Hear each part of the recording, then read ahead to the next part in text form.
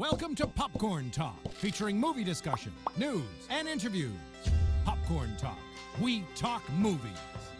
And now, it's the I Blame Dennis Hopper podcast, starring Illeana Douglas. Eavesdrop with Illeana as she interviews Hollywood's most prominent players about filmmaking, acting, and what really happens on the set of your favorite flicks and TV shows. Hi, everyone. I am Illeana Douglas. I'm here with Tamara Berg, uh, my lovely co host, and uh, we've decided, in, in, because of John Heard's passing, we're going to replay the interview we did with them last week.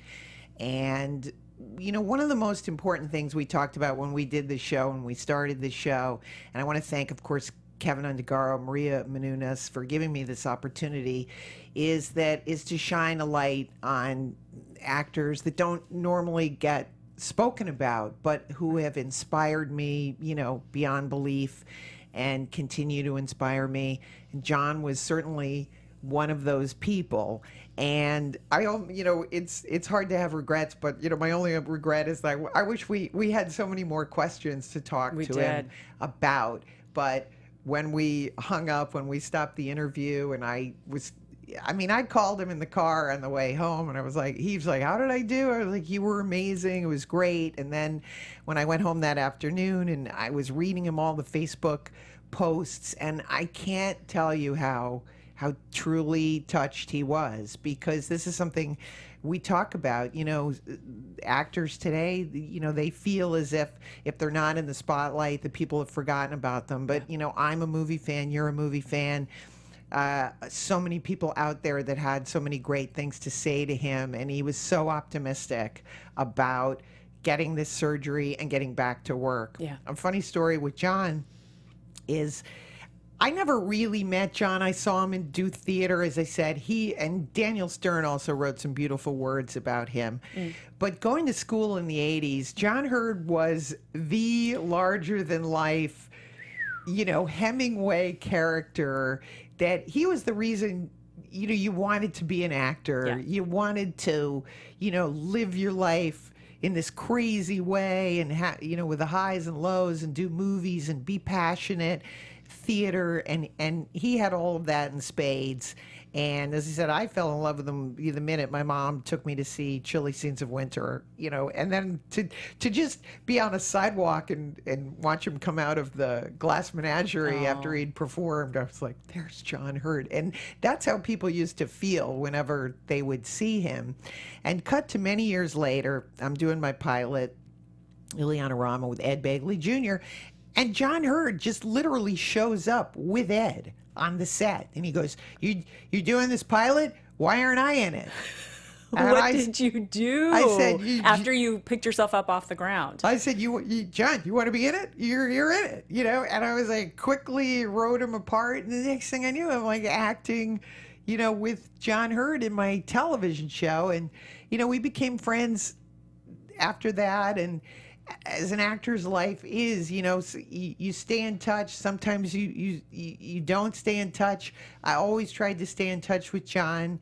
Um, and I remember even, you know, he'd moved up to Monterey and it was like, I got that bell went off in me where it was like, I've got to get John on the podcast. just like a few weeks ago. yeah, I said, come on, John, you got to come on. You got to come on. And, and he was so hesitant because he, he, he really, he was like, oh, people don't care about me. I was, Yeah, so I'd never met him before, Mm-hmm. except for you know meeting him when we did when we did the podcast, and he was so you know goofy and funny in Yeah. the you know before we went on the air when we were when we were chatting, and so silly and great. And he, you described him, or you told me other people described him as irascible. He's irascible He described himself as being grouchy. Yes. Um, so I was wondering, sort of, what's what's your experience of him, you know, in real life, because you did get to meet him and be friends with him. I mean, that's he's you know he's Johnny Heard. You know he like to to. Sometimes people pass away and you think, well, that's it, they're gone. But with John, it's like I can't believe you know he's he's some friends, uh, we're all, you know, we're going to get together Wednesday to talk about him. And we were all saying, like, he's going to haunt us and he's haunting us. And, you know, to not have that smart aleck remark and that smirk, uh, he just was so smart and so intelligent. And, you know, did he have demons? Yes. Um, but that never got in the way of his work. He was so dead serious about his work. And he just, he lived and died to be an actor. And I have when I was playing you, as I said, some voice messages from, you know, when are you doing your movie? When are we going to work together? That's all he. It's what he lived for. Yeah. He just lived to be an actor, and he contri- he contributed to so many of the films that he was in without people even realizing it. And I think that. I think that, you know, possibly the mistake he made early on was maybe being too dismissive of his own talent. Mm. And one of the things, again, if you want to go back and revisit some of his work, Cutter's Way, Yeah. which has really been beautifully re examined. Our, our friend uh, Eddie Muller, who does the film noir, Noir Alley on TCM, is a huge fan of Cutter's Way and has wrote, uh, written about uh, Cutter's Way. Heartbeat is another incredible, and we got to talk about that in the interview. Um, Chilly Scenes of Winter is just my. He was such a true romantic in that, you know, in, in in that movie. That's how I first discovered him.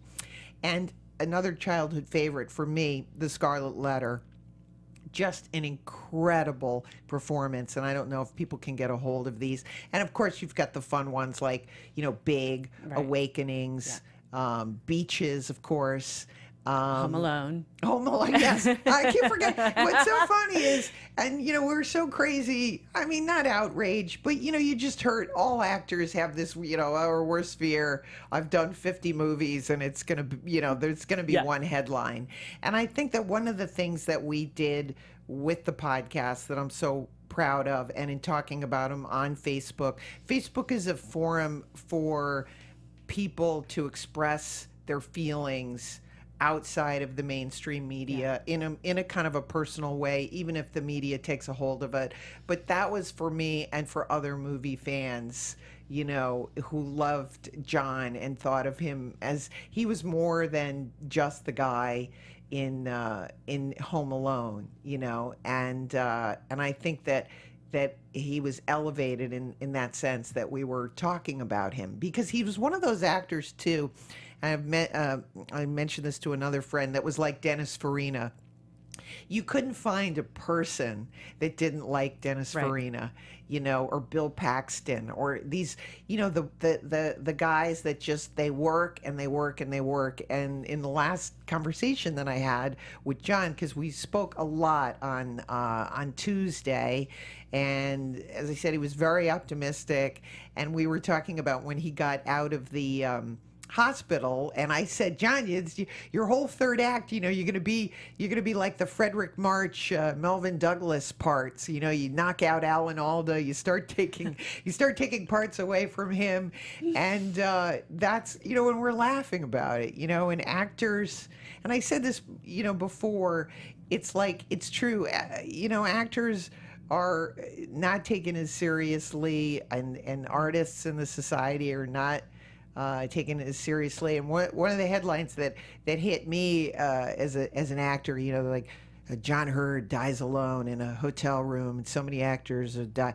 Yeah, because we're working all the time, Right. We're trying to make movies to entertain the masses. And we are. We're the, we've got the little sticks in our little bags, a little bag of tricks, and going from hotel to hotel. And it's sometimes it is a vagabond life, and sometimes I'm sure he was a person who made a lot of grave uh, sacrifices.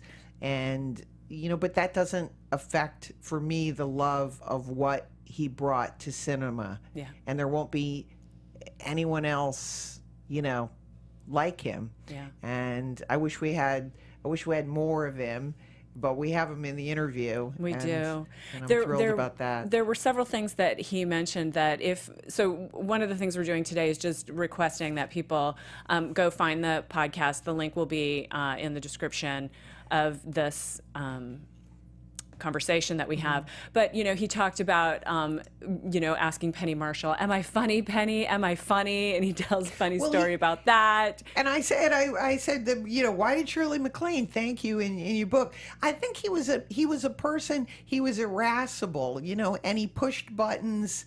And was he difficult because he was he was so smart? I mean, that's what I got from him. He I was agree. very very smart. Yeah. You know, and he also crossed over in a time, and these are usually my favorite actors and some of the ones we've had on the podcast. You know, as we got into the 90s and the 2000s, you know, cinema starts to drop out, and you have the very top tier and the very low tier, mm. and all the actors in the middle, all the character actors, are suddenly scrambling and looking for work.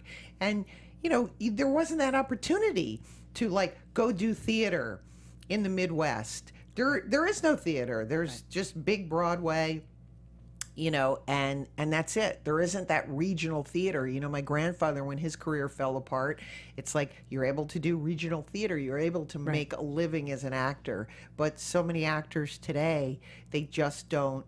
You know, they don't have that ability. And again, like that's.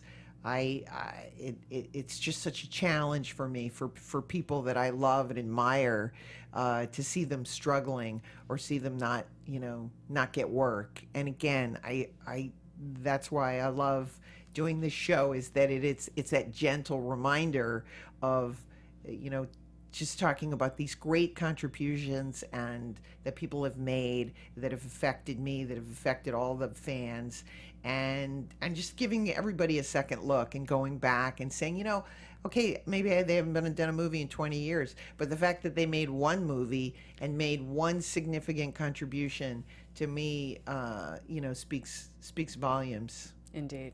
so anyway god bless you johnny heard Thanks, everybody.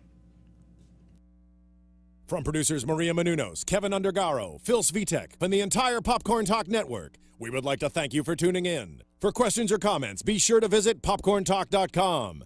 I'm Sir Richard Wentworth, and this has been a presentation of the Popcorn Talk Network. The views expressed herein are those of the hosts only and do not necessarily reflect the views of the Popcorn Talk Network or its owners or principals.